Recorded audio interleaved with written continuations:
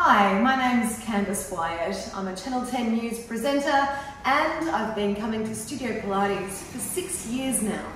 I first signed up because I wanted to try something new. And in the past six years, the franchisee here in Richmond, Melbourne, Haley, has become one of my closest friends. And so, eight months ago, when I severely injured my foot, she was the one who was by my side through multiple hospital and doctor's appointments. She was also the one who encouraged me to come back to Studio Pilates even when I was still on crutches. My foot has an injury called sesamoiditis, which is in the bottom of my toe. On top of that, I developed chronic regional pain syndrome, otherwise known as CRPS. So my foot was very swollen. I couldn't put pressure on it. I was still on crutches and it was twittery.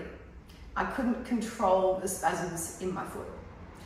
When I first came here, I couldn't do too much, but Haley pushed me to continue.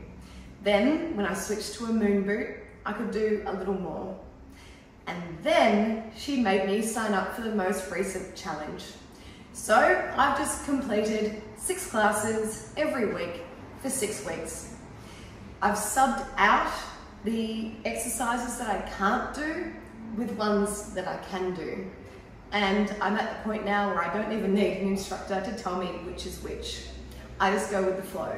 I can basically do everything except standing sideline series and things on tippy toes and planks there's always options to sub those exercises out with other ones. Over the past six weeks, I've become a lot stronger. I've regained the muscle that I lost during two months on crutches and six weeks in a moon boot.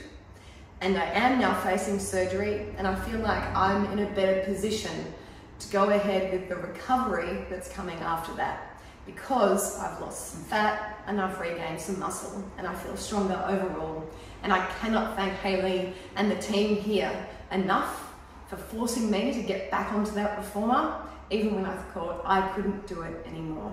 So thank you, thank you to the community here, and thank you to Studio Pilates. I'm sorry I couldn't be there with you today, but have a great day and a wine for me. Mwah.